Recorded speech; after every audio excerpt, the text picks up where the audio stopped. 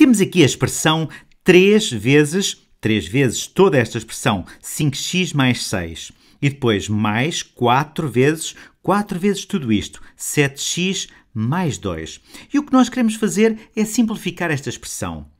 Encorajo-vos a pararem o vídeo neste momento e a tentarem fazer sozinhos. E dou-vos uma sugestão. Reparem que provavelmente vai ser útil utilizar a propriedade distributiva e depois, depois da propriedade distributiva utilizada duas vezes, nós podemos agrupar termos semelhantes para tornar isto uh, uma expressão mais simples. Então, vamos então fazer isto juntos.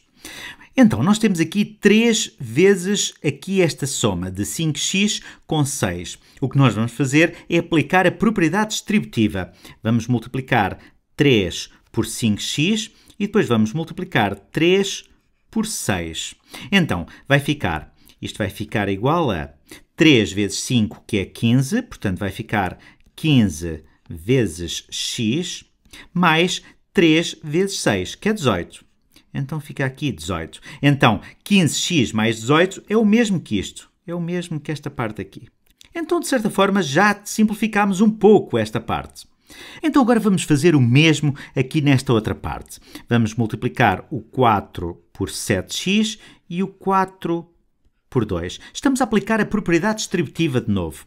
Então isto vai ficar mais 4 vezes 7, 4 vezes 7 dá 28, portanto 28 vezes x, e depois 4 vezes 2, que dá 8. Somamos com 8. Então, 28x mais 8 é, no fundo, uma simplificação já desta segunda parte. Desta parte aqui. Então agora vamos agrupar termos semelhantes. Aqui temos um 15x e aqui temos um 28x. Então nós vamos juntar estes dois. Reparem, vamos juntar aqui, vamos somar o 15x com o 28x. Podemos fazer isto porque a multiplicação é comutativa. Portanto, somar este com este com este com este é o mesmo que somar este com este e depois mais tarde vamos somar este com este. Então, vamos ficar com 15x mais 28x. Reparem, se nós temos 15 de qualquer coisa e somamos com 28 de qualquer coisa, vamos ficar com 15 mais 28 de qualquer coisa. E 15 mais 28 dá 43. Portanto, vamos ficar com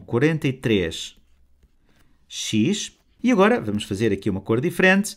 Vamos somar 18 com 8. E 18 com 8 dá 26. Portanto, ficamos com 26. E já está. Esta é provavelmente a forma mais simples de escrever aqui esta expressão. E fizemos isto utilizando aqui a propriedade distributiva duas vezes e depois agrupando aqui termos semelhantes. Agrupámos o 15x com o 28x e depois o 18 com o 8 e ficámos com esta expressão.